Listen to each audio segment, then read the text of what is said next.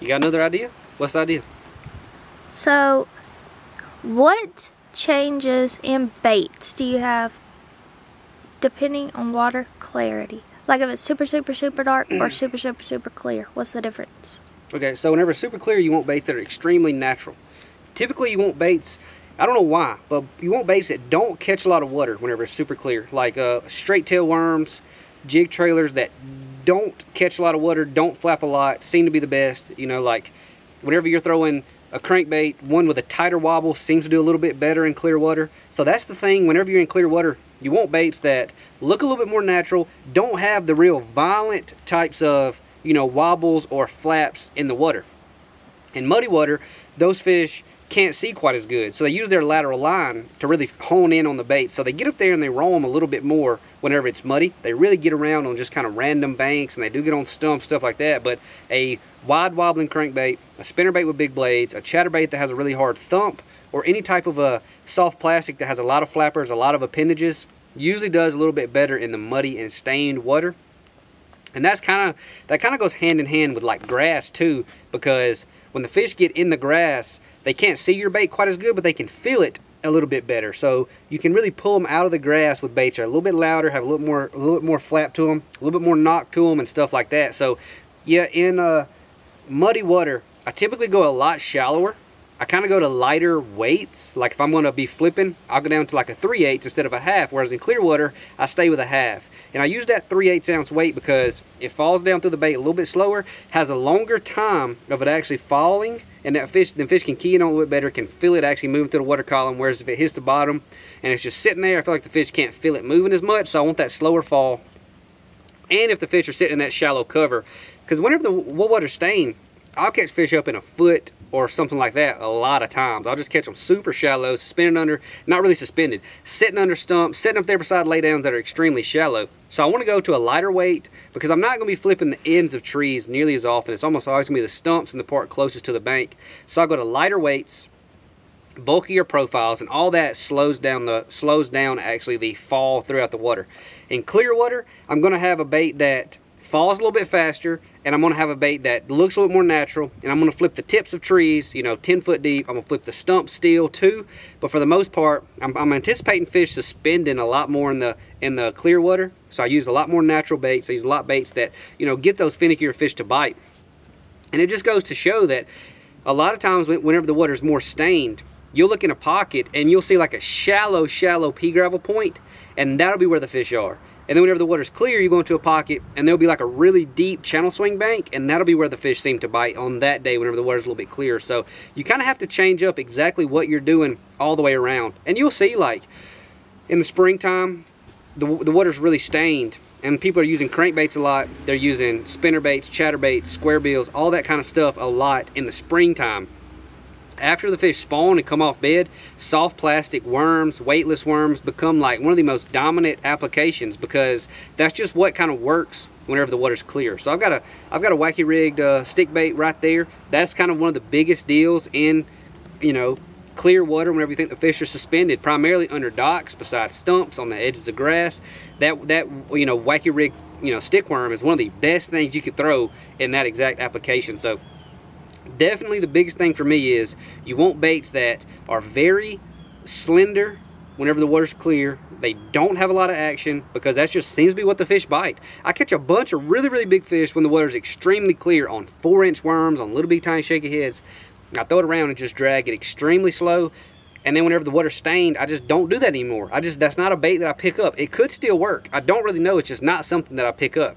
And another thing is, a drop shot plays a big role whenever you're in clear water and in dirty water. I just don't pick it up. I just flip something that goes straight down to the bottom. But there's something about that little, little, little tiny motion that that drop shot has. It just barely moves. Every time you, you wiggle it, the worm just barely flexes just a little. And what that does is it just gets those fish that are, you know, a little bit harder to bite. They're not really keyed on anything. They're kind of roaming around. It's just such a small, non-invasive bait. And that's a good word. I'm going to come back to that in just a second that those fish that are kind of lethargic and not up there actively feeding, that's something that they really are trying to target on. And the non-invasive, that's a word that, you know, really sticks to my brain whenever I'm fishing in clear water. You want a bait that is super non-invasive. You don't want a bait that's going to be polarizing at all. Whenever you're fishing for clear water fish, you don't want a big bulky spinner bait. You don't want a big square bill. You don't want a big chatterbait. You don't want a big buzz bait because that's going to make the fish either run from it or run to it. And that's a polarizing bait. You're going to catch the fish that are going to bite and you're not going to catch the fish that are scared of it.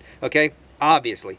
If you throw something like a wacky rig trick uh, stick worm up in there, no fish is going to run from that.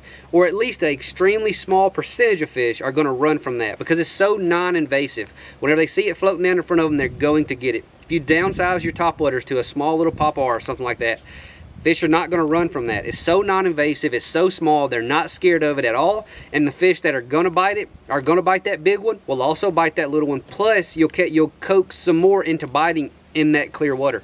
So being non-invasive, making sure that the baits that you're throwing are not going to scare the fish in the immediate post-spawn or anytime the water's clear, that's a big key. That's one of the main reasons why downsizing baits get so many more bites is because you don't scare away those keeper-sized fish. Now, on the other side, in that clear water, the fish seem to be more aggressively feeding. They seem to be looking for things that are moving in the water that they can actually, you know, key on. So you want something that kind of floats by the fish a little bit slower, catches more water, and stays in the strike zone and has a big loud vibration, whether it be Colorado blades, spinner baits, big uh, vibrating jigs, all that types of stuff really makes those fish hone in, hunt down that bait, and come and actively, you know, chase that bait down. Are you going to scare some still with those big baits? Of course. It's going to be a little bit invasive. But in that clear and in that clear water, they can see it so well that the feel and the vision can scare them. In that muddy water, there's nothing that can really scare them because they like the feel and they can't see it too good. So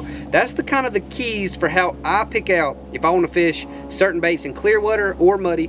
But these are just kind of standards. They can change at all times. There can be a time where you get on a, the best bite of your life is on a big, bulky, giant square bill in crystal clear water. That can definitely happen. And there's times where you might be flipping a tiny little worm in muddy water and getting more bites than you've ever got anything in your life. So these are just general standards to kind of start off by, but as soon as you start getting some clues on what kind of baits they like every single day, you should instantly start trying to deviate and kind of dial it in more and more and get very precise on it. So that's my standard approach for how I, you know, target clear water and stained water. One thing we're doing pretty cool in the channel, guys, we're about to do a rod giveaway. So if you want to enter in the rod giveaway, hit that subscribe button, turn the alerts on because we're going to actually figure out exactly what we want to do for the rod giveaway and you don't want to miss the videos because you might miss that giveaway. So appreciate you guys watching. We'll see y'all in the next video. That's my guide to clear and dirty water.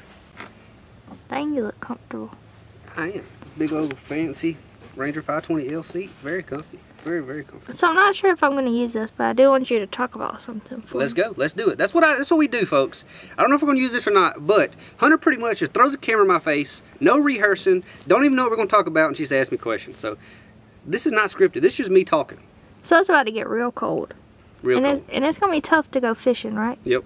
So we might be traveling a little more, playing a little poker. We will definitely be traveling, playing a little poker. So what we need to ask these 16,000 subscribers is, is if they're going to mind if we throw in a poker vlog. Or Do y'all want to see a poker vlog? Leave a like if you want to see a poker vlog. Be pretty fun. Probably won't go too in depth because obviously the bulk of my viewers are not going to want to know about why exactly I'm betting you know, whenever the club came on the turn while I'm continuing. And you're probably not going to know all that in-depth stuff, but could be some pretty cool entertainment of just the traveling and seeing the inside of casinos a little bit and mm -hmm. just seeing, you know, thousands of dollars worth of poker chips all the time. And and the elk that we see all the time. We do see elk. It's a little bit late for that. Is it? Yeah, we usually go in October. A little bit we did see elk last December. We were in there December 9th. Was we? Yeah, there was a lot of elk there. Okay. Probably gonna see some elk then. Y'all want to see some elk? Y'all want to see some poker? give a thumbs up. What, what, what, what, this video can't just be a one minute long about poker. What else are we going to talk about? No, I would like to let y'all know though, if you ever do see an elk and you're in Kyle's presence, just make sure you run faster than him because he will outrun you if the elk start oh, chasing God. you. Left Hunter in the dust. We got charged by a little tiny uh, it was not a little tiny. it was not little tiny, but by elk standards, relatively small. You know, had horns like this long, kind of wide, kind of, you know, I don't know how old that is. Two and a half, three and a half year old elk. I don't know. Wasn't a giant one, but it came charging us out of the creek and started running at us. And Hunter's not that fast of a runner, and I I, I am kind of fast of a runner. So I was about uh, a few yards ahead of Hunter, turned around, stopped, waited for her, punched the elk in the nose, knocked him out, rescued Hunter, and ran out of the woods. So, First of all, he was not a few yards ahead of me because I couldn't even see him through the trail. He Oh, was God, I was gone. He was back in the car, was and I was still running. I was going to come pick her up in the car. I was going to get help. I was going to come pick her up in the car because, uh, Mm-hmm. yeah, she was probably going to be elk bait. So- it wasn't that bad, but I did leave her by a little bit. I went back and got her though. Kyle's fight or flight definitely kicked in, and it was definitely the flight effect. I ain't fighting an elk. That thing was probably like 400 pounds, 500 pounds, even though it was not a full grown one, still was a lot bigger than I am. I wasn't going to fight that thing. I mean, I would have hated to have to put that thing in a check lock, um, a headlock and just ruin all his self confidence like that and just, you know, straight up let him get tombstoned by a dang human.